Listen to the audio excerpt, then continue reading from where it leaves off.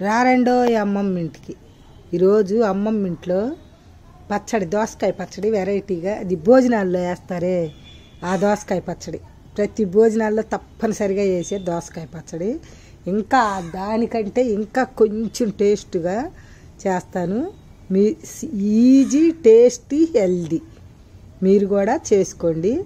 దీనిలో నేను వీటన్నిటి గురించి కాకుండా ఈరోజు ఈ ఒక్కదాని గురించే చెప్తా. నువ్వులు. నువ్వులు మామూలు విషయం కాదు. నువ్వులు డయాబెటీస్ తగ్గించిద్ది క్యాన్సర్ రాకుండా చేసిద్ది ఎముకలు గట్టిపరిచిద్ది కండరాలు జుట్టు పటిష్టంగా ఉంటాయి రేడియేషన్ నుండి రక్షించిద్ది.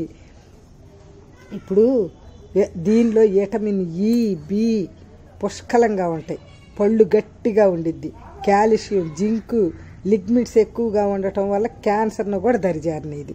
చర్మంలో వ్యర్థాలన్నీ బయటికి పంపించిద్ది.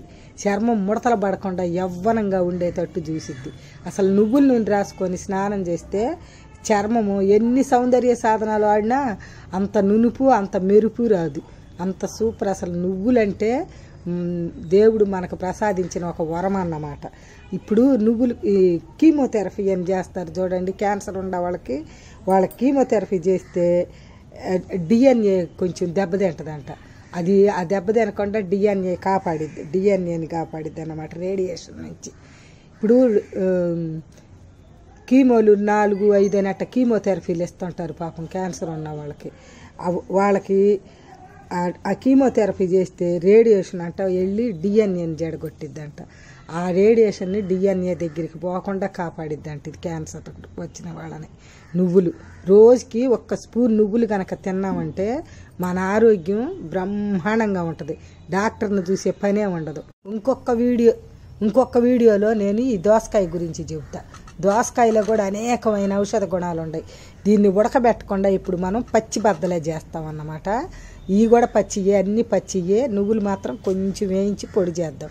మీరు మీకు ఇష్టమైతే వేసుకోండి లేకపోతే లేదు. ఈ నువ్వుల వల్ల అన్ని ఉపయోగాలు ఉన్నాయి ఎప్పుడన్నా నాలుగు రోజులకు మూడు రోజులకైనా మనం చేసే కూరల్లో నువ్వులు వాడుతుంటే కొంచెం మరీ రోజు తినే తి- తినలేకపోయినా అదైనా మనకు ఉపయోగపడిద్దని నేను వేస్తూ ఉంటాను పిల్లలకి చెబితే ఆ నువ్వులు గివులు ఆరోగ్యకరమైనవి తినరుగా పిల్లలు.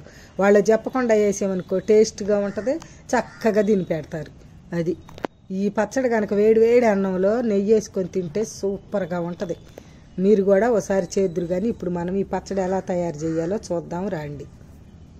ముందుగా ఏం చేయాలంటే ఈ దోసకాయని కడి చెక్కు తీసి శుభ్రంగా కడిగేసి మీకు ఎంత సన్న ముక్కలు అయితే వస్తాయో అంత సన్న ముక్కలు కట్ చేసుకోండి. తురుముకోవద్దు. తురిమితే బాగోదు. ముక్కలైతే పంటి కింద పడుతుంటే సూపర్గా ఉంటుంది బాగా టేస్ట్గా ఉంటుంది. ఇప్పుడు నేను ఈ దోసకాయ కడిగి ముక్కలు చేసి అంత పచ్చడికి రెడీ చేసి నేను మీకు చూపిస్తా. మీకు చెప్పలేదు కదా ఈ పచ్చడికి కావాల్సిన పదార్థాలు ఏమీ లేదు. దోసకాయ కొన్ని మీ రుచికి సరిపడినంత కారం ఎంత ఉంటుందో అంత కారంకి సరిపడా పచ్చిమిరపకాయలు కొంచెం కొత్తిమీర కరివేపాకు జీలకర్ర వెల్లుల్లి చింతకాయ పచ్చడి. మీరు నువ్వులు లేవు అనుకో. అవిసె గింజలైనా కూడా వేసుకోవచ్చు. అది కూడా చాలా మంచిది. నేను అవిసె గింజలు కూడా మీకు ఒకసారి చెప్తాను. అవిసె గింజలు కూడా వేసుకొని చేసుకోవచ్చు. అవిసి గింజలు తినవచ్చు అవిసి గింజలు వేసుకోవచ్చు. అవిసి గింజలు కూడా మన ఆరోగ్యానికి నువ్వులకి దేనిలో తీసిపోనంత మంచి లక్షణాలు అవి- అవిసి గింజల్లో కూడా ఉన్నాయి ఇప్పుడు నేను ఇది మీకు సన్నగా ముక్కలు జరిగిన తర్వాత పచ్చడి ఎలా చేయాలో చూపిస్తా. ఈ లైట్గా వేయించి ఒక డబ్బాలో పోసుకుంటే మనకి ఎప్పుడు అవసరమైతే అప్పుడు ఒక స్పూన్ వేసి నూరుకొని వేసుకోవచ్చు. ఇదిగో చూడండి. ఇంత స- సన్నగా కట్ చేసాను దోసకాయను. ఇంక ఇప్పుడు మనం ఈ పచ్చడి ఎలా తయారు చేయాలో చూద్దాం రండి. ఈ పచ్చట్లో ఉప్పు వేసే పని లేదు పైనుంచి. ఎందుకంటే చింతకాయ పచ్చట్లో వేస్తాం కాబట్టి ఉప్పు వేసే పని లేదు. ముందుగా నువ్వుల్ని మెత్తగా నూరుకున్నాం. అయిపోయినాయి. చూసారా మీ కళ్ళ ముందు ఎంతసేపు? ఒక్క నిమిషంలో మెత్తగా అయిపోతాయి. ఇవి అయిపోయినాక దీనిలో పచ్చిమిరపకాయలు వేసి దంచుదాం. పచ్చిమిరపకాయలు వేసి కొంచెం మెత్తగా మెదిగిందాక దంచుదాం. ఇప్పుడు పచ్చిమిరపకాయలు నలిగిపోయినాయి. వేయించే అవసరం లేదండి. ఒత్తి పచ్చి అన్ని పచ్చియే. ఈ అయిపోయిన తర్వాత మనం ఈ చింతకాయ పచ్చడిని దీనిలో వేసేద్దాం. వేసేసి ఇది కూడా చక్కగా నూరుదాం కలిసేటట్టు. ఇది కూడా కలిసిపోయింది కదా దీనిలో వెల్లుల్లి జీలకర్ర వేసి నూరుదాం.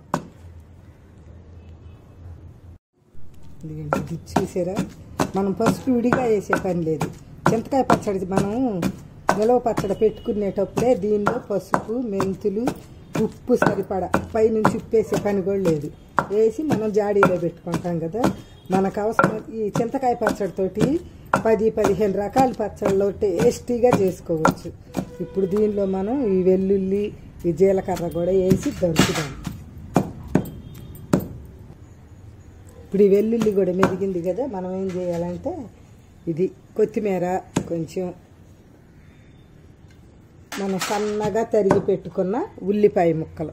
ఉల్లిపాయ కాదు అదేంటి దోసకాయ ముక్కలు వేసి కొంచెం నూరాలి. ఎక్కువ నూర అవసరం లేదు. నేను వీడియో స్కిప్ చేయకుండా నూరి మీకు చూపిస్తాను. ఇంకా ఈ మాత్రం సరిపోద్ది. మొత్తం కలిసేటట్టు ఒక్కసారి ఇలా కలిపేసుకొని ఇంకా తీసి తాలింపు పెట్టుకోవాలి. అలా కలిపేసాం కదా ఇంకా తీయటమే. ఇంకా మెదగాల్సిన అవసరం అయితే లేదు. దోసకాయ ముక్కలు పంట కింద పడుతుంటే టేస్ట్గా ఉంటాయి. అందుకని ఇంకా దీన్ని పచ్చడిని మొత్తం తోడేసేద్దాం. తీసేసి సూపర్గా ఉంది. టేస్ట్ ఇంకా తాలింపు పెడదాం మనం. సరే ఇంకా పచ్చడి తీసేసే కదా తాలింపు పెడదాం రండి. ఇప్పుడు పొయ్యి మీద బాండీ పెట్టి కొంచెం ఆయిల్ వేసాను. ఇప్పుడు తాలింపు పెడదాం చెట్టు.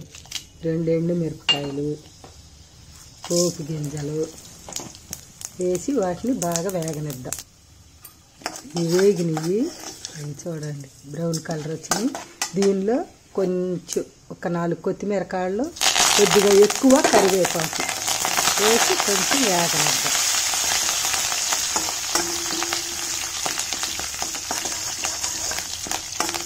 కరివేపాకు చక్కగా వేగిన తర్వాత బాగా వేగాలి. కరివేపాకు మంచి స్మెల్ వచ్చింది.